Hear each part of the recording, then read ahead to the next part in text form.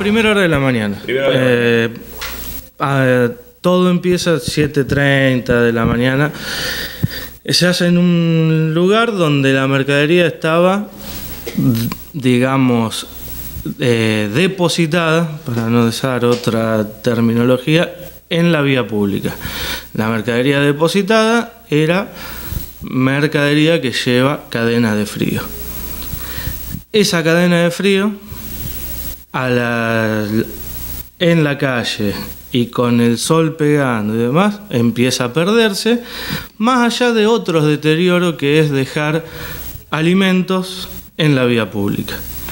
Esos alimentos no solamente perdieron la cadena de frío, sino que había orín de perros, o sea, hay todo un combo que hace que esa mercadería no sea apta para consumo. Vos me decís, perdió muchos grados de temperatura, tal vez no, pero al estar semi abandonada en la vía pública y no colocada como dice la reglamentación, quien despacha esa mercadería del camión la lleva a la góndola y la deposita o a la cámara del comercio, amerita que se haga el decomiso. Eran yogures, eran todos los alimentos que cualquiera de nuestros hijos se pueden llevar a la boca y pueden estar contaminados de estar depositados en la vía pública.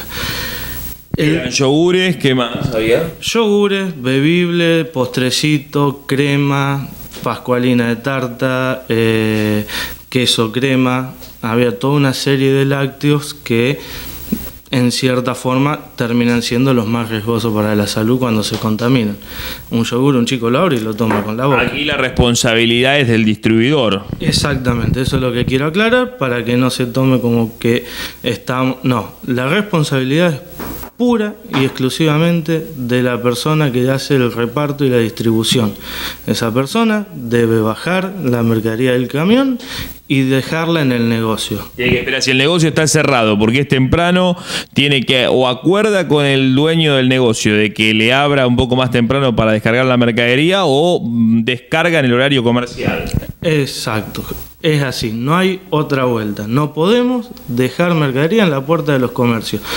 Y ahora, no solamente mercadería perecedera, sino que estamos viendo, y cada vez con mayor frecuencia, pan en la puerta de las granjas. Eh, la granjita está cerrada y viene el panadero a las 7 de la mañana y deja la bolsa. la bolsa de pan. Estamos empezando a hacer ese relevamiento.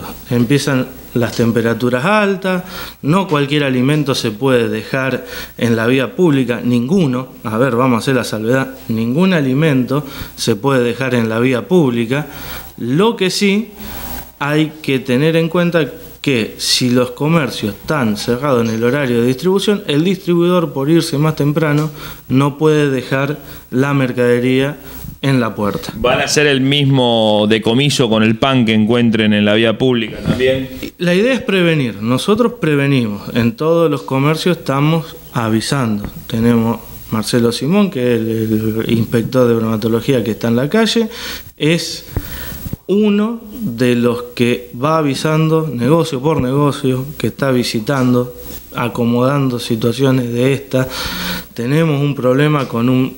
Generalmente la gente que genera estos inconvenientes de afuera, no es de la localidad. Eh, hay un panadero que viene de La Rosa, que no está habilitado en La Rosa, y nosotros lo único que hacemos es cortar cadena de distribuciones y nos siembra las bolsas de pan en todas las granjas, perjudicando al comercio local, por supuesto. han dicho también, está la advertencia para este. Hemos esperado, está avisado, con todo, está avisada la gente de bromatología de las rosas.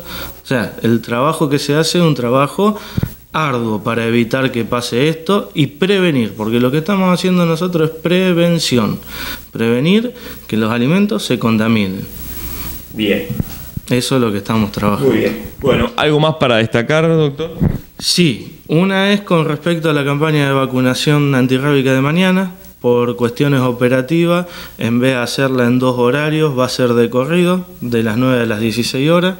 Eso para que la gente lo tenga en cuenta, Bien. porque no vamos a hacer el corte ese, la gente van a venir y vamos a estar todo el día, hasta las 4 de la tarde. Hasta las 4 de la tarde. Esa es una de las... Bien, ¿queda algo más? No, Eso, por el momento creo que estamos. Gracias, doctor. No, gracias a ustedes. por- los lugares, reitere, doctor. Los lugares, los cinco habituales que estamos haciendo siempre, Salvor, la hormiguita laboriosa, Centro Cardiológico, Mastranza Nueva y el Hospital Ex Valdano en la calle 17.